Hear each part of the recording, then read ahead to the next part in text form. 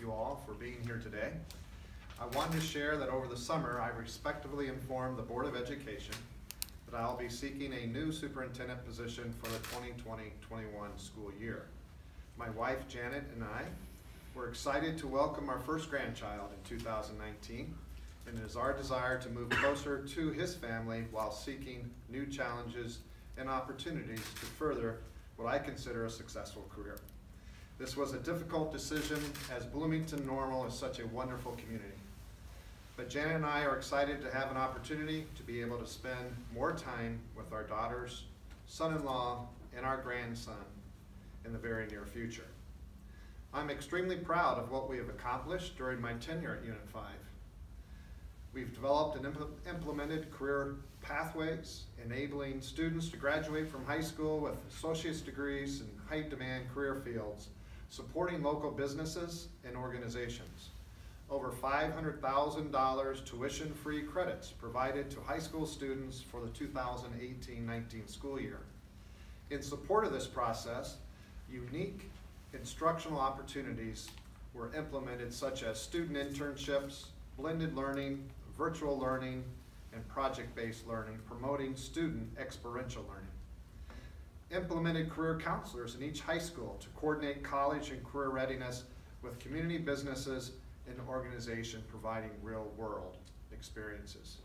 Also, our graduation rates increased from 86.1% in 2014 to around 92% in 2017, and it's staying in that area, that range. A district-wide focus on college and career readiness, standards-based grading aligned to Illinois learning standards, literacy, and social emotional learning including mental health counselors jointly funded with local community mental health organizations. The various district initiatives guide professional development and funding of pilot programs with data analysis generated to drive expansion. Also, I will never forget the days where we were involved with negotiations and a, negotiation team to bring Rivian Automotive and Brandt Industries to McLean County. Through these negotiations, business partnerships developed, supporting our college and career opportunities for students while meeting future employment needs of local businesses.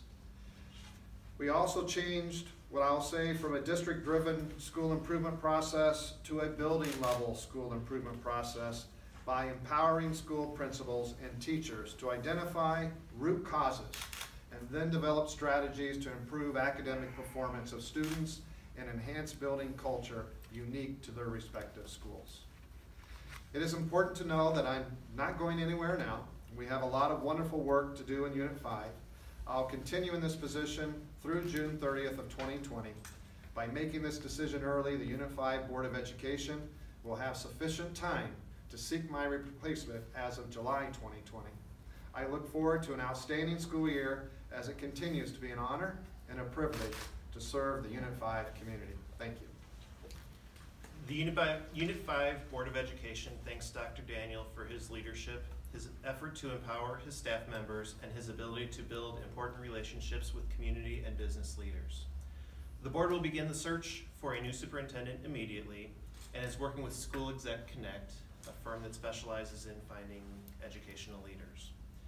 The search firm will make a presentation at our September 11th board meeting and the current plans are tentatively to approve an agreement with that company at our September 25th board meeting. We appreciate Dr. Daniel's dedication and service to the students and families of Unit 5.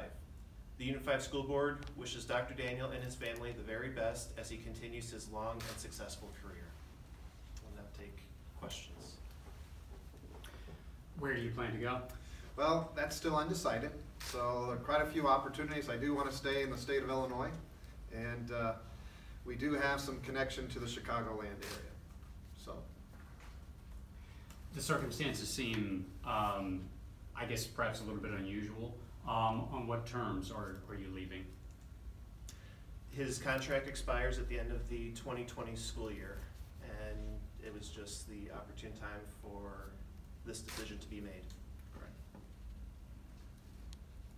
Dr. Yeah. Daniel, what are your main goals for then this kind of final year, you know, victory Yes. lap? What are your Yeah. kind of hopes for this year? That's a nice way to say it. I will say that there are we just finished our evaluation process and we are definitely always looking how do we become financially independent or creating a structure such that we don't have our um, structural deficit.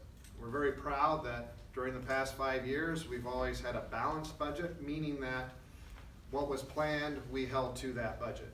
But we are, we do have a structural deficit which needs to be, we need to find ways to eliminate. We also talked a little bit about what we've, what we've been doing in the social emotional learning aspect.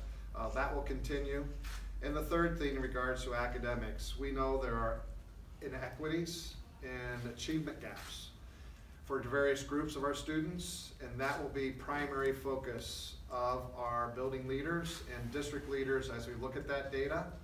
Also looking at not just the student data, but the instructional practice data and information, figuring out root causes, or at least hypothesizing of the root causes, and using best practices to change that, to move that needle.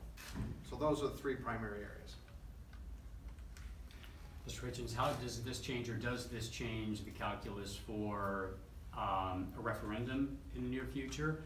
Uh, And, uh, well, I guess, why don't we start with that first? So we as a district still need to continue to assess our expenses and our revenue sources. And as Dr. Daniel alluded to, we need to look at how we can continue to provide the best education possible for our students with the resources we have available.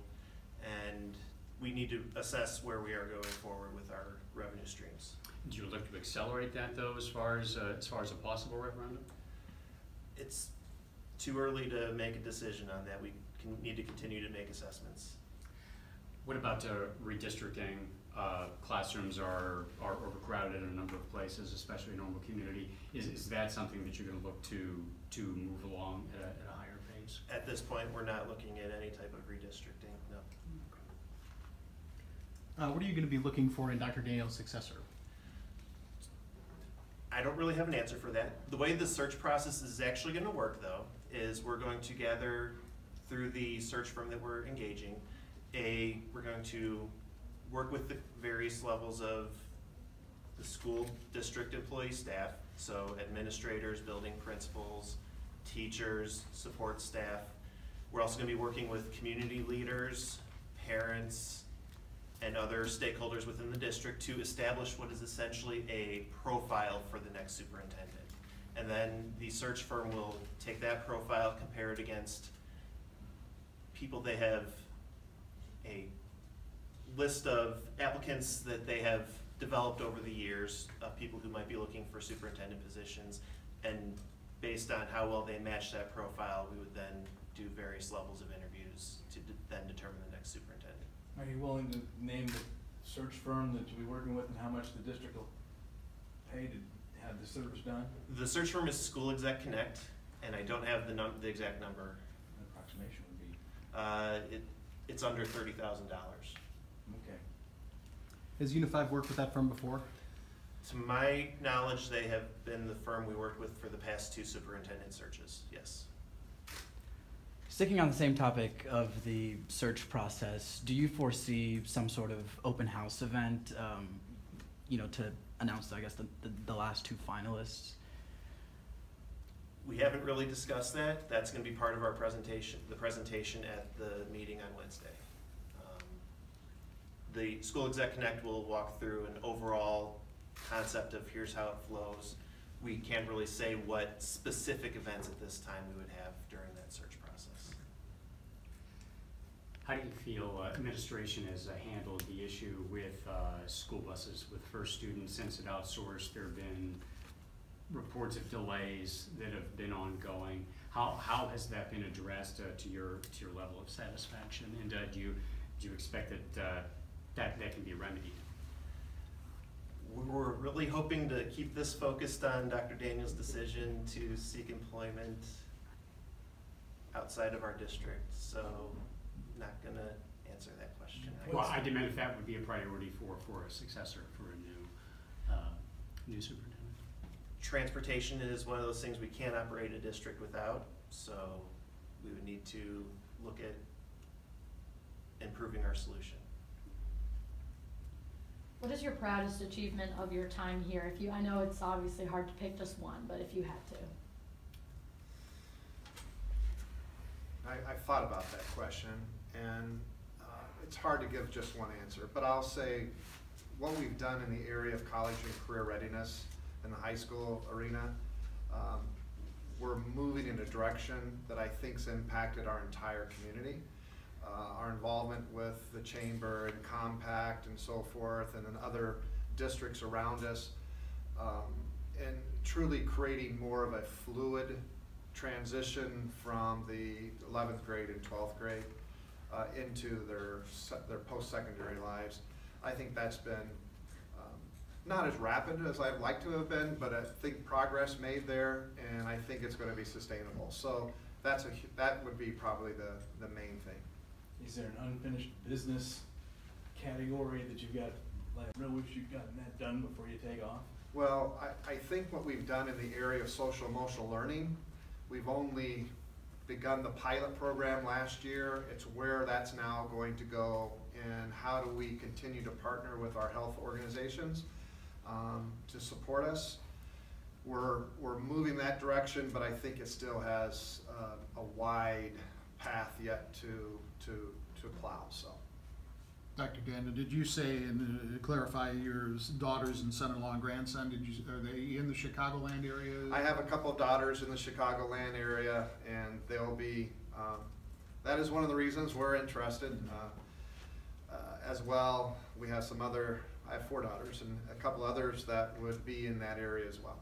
So, again, depending upon where the opportunities fall, and I'm also interested in seeing what happens in Unit Five, and again, I think our respect for each other and respect for our school district and our families and our students and our greater community, I think uh, it was only right to make an announcement so this business can take place. Um, Otherwise, it waits until the very end and, and you have all that, so. But I also will say this, having been in a district like Unit Five, the experience provided, the, um, not, not just the successes, but also you learn from your challenges. And I think we've had numerous challenges and we've, uh, tried to meet those head on and we've done so very, very much, uh, in regards to an honest way, a transparent way. And I think that's the way we do business, and I'm very pleased and proud to say I've been part of Unit Five. What uh, message do you have for, for your teachers, uh, who you will be uh, leaving behind after this year? So, you know, that is, as I look at our teachers and the vast amount of, um, vast amount of professional development and expertise that they possess, that they continue to move forward, and the, the, our motto is continuous improvement. And I'll say that I would place our teachers side by side to any teacher that I've, uh, I've met or been part of, whether it's been in Indiana, Michigan, or Illinois. And, uh, I think they're extremely professional, they're very hardworking, and bottom line is, they truly care about their kids. And, uh, you know, we, we really worked hard trying to reduce class sizes, and I think we've done an excellent job in that through, through the elementary years. But we still have some pockets in our secondary world where we could do some better work. Um, But again, that boils down to budget and what we have available. Uh, Dr. Daniel, what's your age and how big a factor was that in this?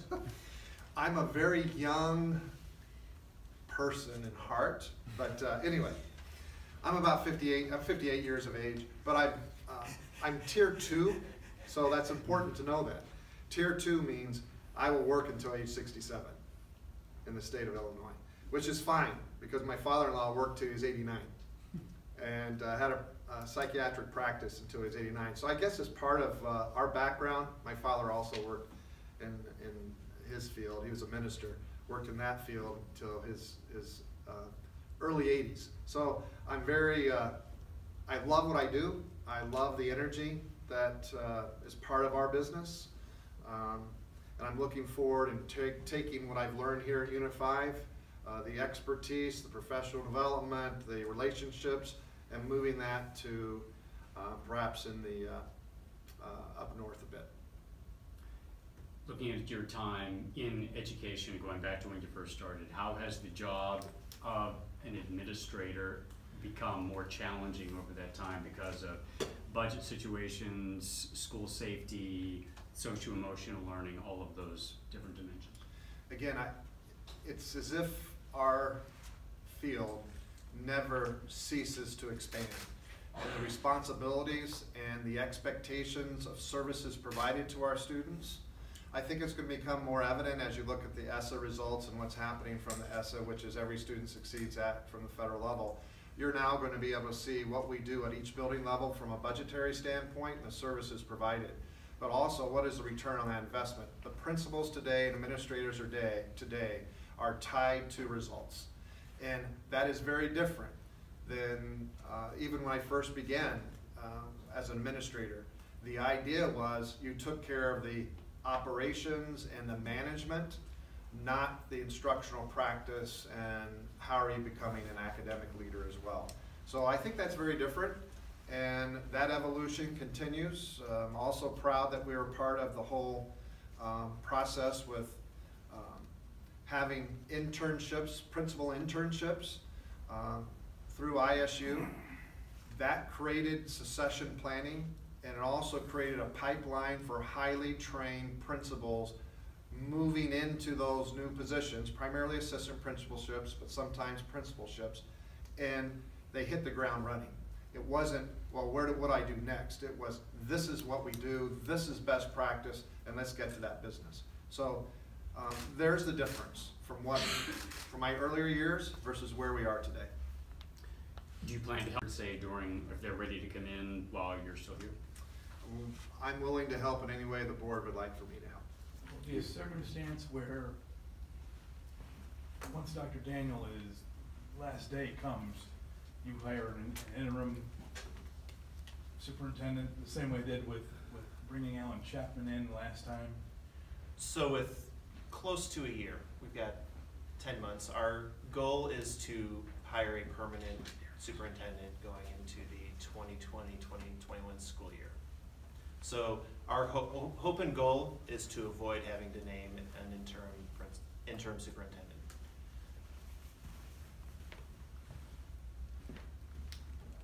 Uh, Dr. Daniel, what's your salary? Uh, right now, I'm two hundred and three thousand. And was that a factor here? Uh, not really, um, and then we've just had a, uh, evaluation meeting, so it might increase a bit more. There will be an item on our board meeting agenda, uh, you'll be given a one percent increase for this coming school year. I don't know if it says it anywhere on here, but how many years? I know it just says tenure, but how many years uh, have you been the Unit Five superintendent? This is my, going to my sixth year. Do you have a regret?